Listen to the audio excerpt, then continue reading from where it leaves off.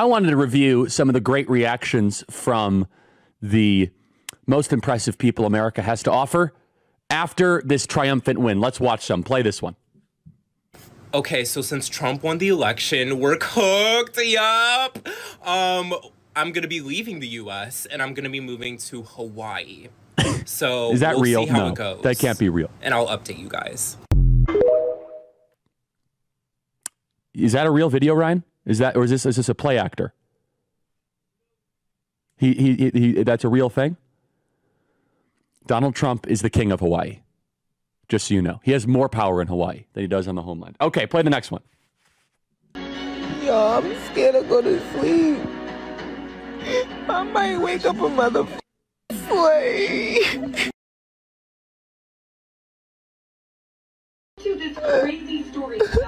Y'all like, why are y'all Trump supporters? Like, why? I mean, this shows as we're going through these the depth of the lies of the media and how people. I'm going to wake up a slave. Okay, play the next one.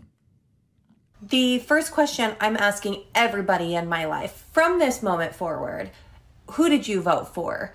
If I get anything aside from Kamala, get the of my face. I am done, honestly. It costs me zero dollars to cut people off. And in this economy, I'm taking all the free shit I can get. What does that even mean? What is she talking about? Okay, what's the next one? Oh, this is great.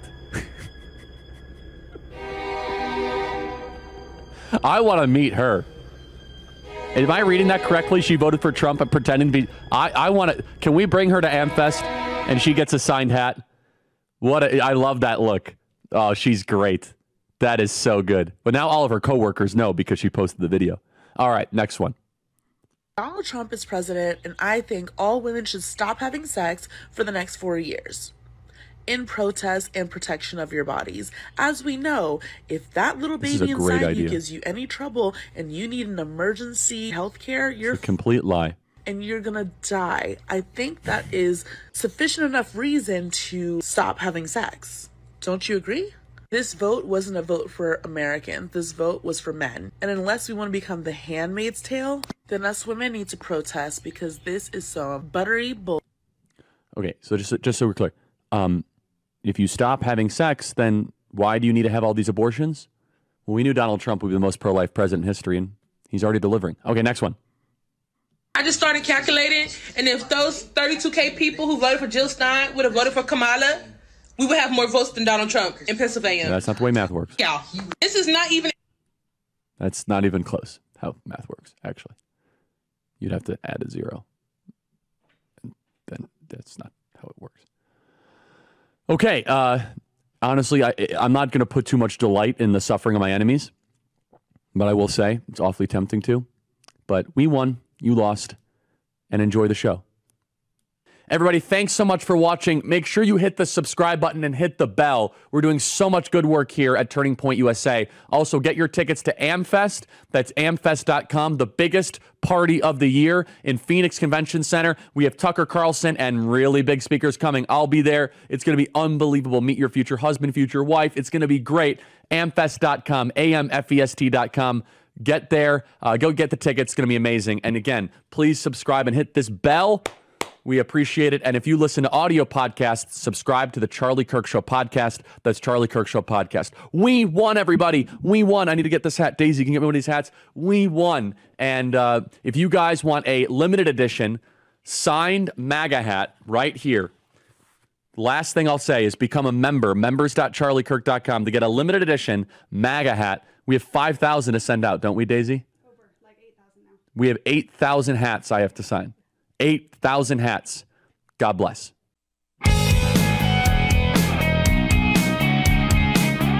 Okay, everybody, welcome back. All right, Blake, navigate us through Mr. Kimmel here. It's too good to be Oh, true. it, it's it's great. So we haven't we've been enjoying the victory, but we haven't actually taken a lot of time to fully enjoy Their just their misery. the agony, the I suffering. We haven't done that at all. I, I can. It's a little bit slower than I, I think it's going to pick up though. It'll pick up. It's, it's going to pick up. it's there's been a lot of this, so we want to we want to have some of these good ones. So, and there was a bit of a delay too. Like we in 2016, you had uh, It was- Stephen Colbert yeah. did that live stream with Mark Halperin on the show, where they Right. come in and like they thought he was gonna have him walk. Oh, it was so great. Um, but what's the number here? So Jimmy Kimmel, of course, was a very aggravating lib. He's one of the biggest figures in the turning of late night TV into this endless crap show. Uh, he started to basically cry last night in his first program post election. Uh, let's play 290.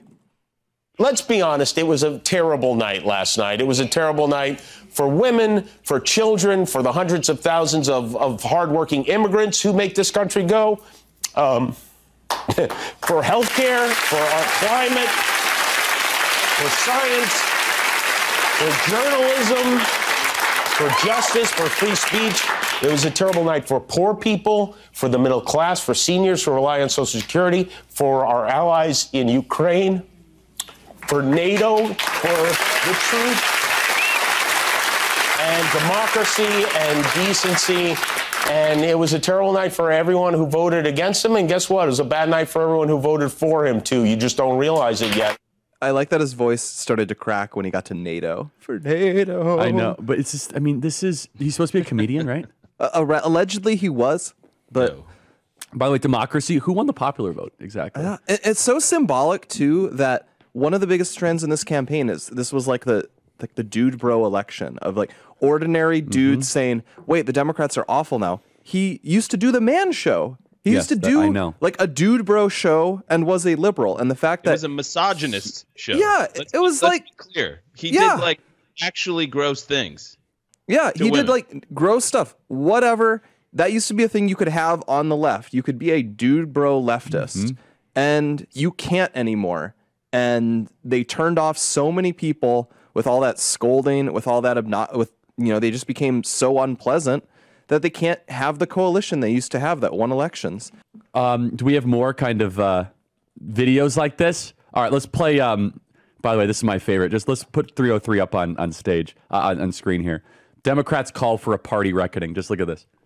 How delicious is this here? Put this up on screen. Democrats call for a party reckoning. Let's play cut 304. And, and finally, we talk a lot about these different demographics and these assumptions of where they're going to go. Latinos in Texas, a, dis- a district that's 97% Latino, went 75 percentage points for Donald Trump. Why? Misogyny. It's on the, no, That's it's on the border. It's the border crisis is on their doorstep. So- so- and they were begging people to care about it for years. we need to and take some lessons. that's what that was. The lessons are not Knock, misogyny knock. Who's there? Oh my gosh, it's Whoopi. We have just a few seconds left. Let's play 231. I'm sorry. No, no, no, no. why, why, why? why, why, why? Do you really hate me that bad? No, we don't. We, we don't hate you. Actually, We We'll be playing that one like I the, know. the chick screaming at Oh, no, it- inauguration. we we want you to live in a decent country, actually, and I I just We will make your country great again, even if it's against your will.